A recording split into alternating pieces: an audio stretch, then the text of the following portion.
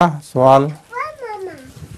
हुजूर। वालेकुम सलाम। मेरा सवाल है कि अहमदी लड़कियों को तालीम हासिल करने के लिए मजमून चुनते वक्त क्या वो मजमून लेने चाहिए जिनसे अच्छी आमदनी हो सकती हो या वो मजमून जो इल्म हासिल करने के लिए बेहतर हो? ये तो डिपेंड करता है। अगर गरीब लड़कियाँ तालीम हासिल कर रही हैं तो उनको ऐसे मजमून लेने चाहिए जिससे आमदनी भी हो। और अगर अमीर लड़कियाँ खाती पीती इल्म हासिल कर रही हैं तो उनको इससे गरज नहीं होनी चाहिए कि इल्म के ज़रिए कमाई करेंगे कि नहीं। जो भी दिलचस्प मजमून हो उनके उनकी दिलचस्पी का इल्म हो वो उसको ले लें। मेरे पास लतीफ़ा भी है। हाँ सुनाइए।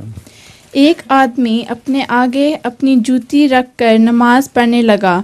तो किसी ने उसको कहा कि अगर जूती आगे रख कर नमाज़ पढ़ो तो नमाज़ नहीं होती।